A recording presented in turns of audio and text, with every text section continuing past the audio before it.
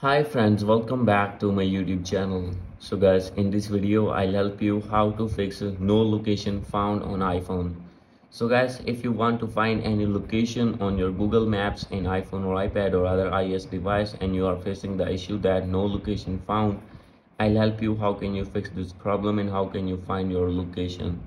So let's get started without wasting any time. So guys, first of all, you need to open your settings click on Wi-Fi make sure that you have connected with strong internet connection and after this you need to go back. Now you need to scroll it down click on general. From here you have to check your VPN connection. If you have connected any VPN you need to disconnect that VPN after doing this you need to go back. So guys now you need to click on transfer or reset iPhone and from here you have to reset your network settings. And now you need to click on language and region and select your region according to your country and after this you need to set your date and time on automatically. And after this guys you need to check for software update. And you need to update your device to latest iOS version.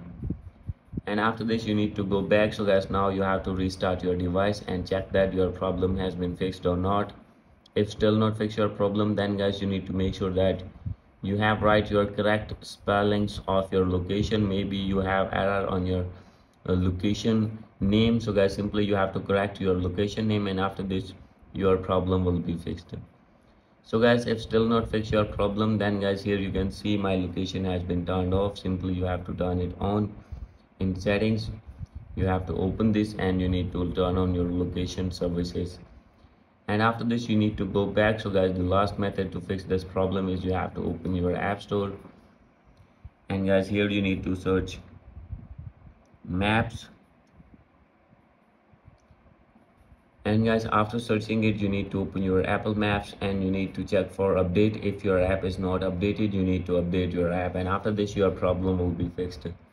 So guys hope you like this video. If you like this video please do subscribe my channel. Thank you